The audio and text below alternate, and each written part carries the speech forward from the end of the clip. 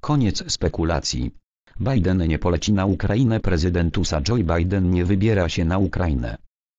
Zbliża się podróż prezydenta USA Joe Bidena do Europy. Jeszcze kilka dni temu pojawiały się domysły, co do przebiegu wizyty amerykańskiego przywódcy. Wiadomo jednak, że nie poleci on na Ukrainę. Informację przekazała rzeczniczka Białego Domu. Prezydent USA Joe Biden wyrusza w podróż do Europy w środę 23 marca. Wiadomo już, że w jej trakcie między innymi weźmie udział w szczytach NATO i Unii Europejskiej. Wojna w Ukrainie. Joe Biden nie poleci do Kijowa. W niedzielę 20 marca rzeczniczka Białego Domu Drzeń Psaki ucięła domysły, co do ewentualnej podróży Bidena na Ukrainę.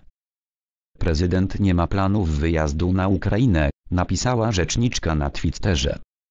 Jak dodała, jeszcze w niedzielę ogłoszone zostaną dalsze szczegóły podróży Bidena do Europy. Podróż będzie skoncentrowana na dalszym jednoczeniu świata w popieraniu narodu ukraińskiego i przeciwko inwazji prezydenta Putina na Ukrainę, wyjaśniła Jen Psaki. Wojna Rosja-Ukraina.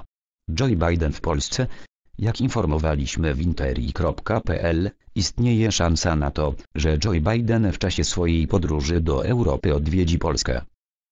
Z dużym prawdopodobieństwem prezydent USA w piątek 25 marca będzie w Polsce, później być może w Rumunii. Oczywiście to jest dyplomacja w czasie wojny, wszystko w ostatniej chwili może się zmienić, zastrzegł minister zaznajomiony z tematem wizyty Joe Bidena w Polsce.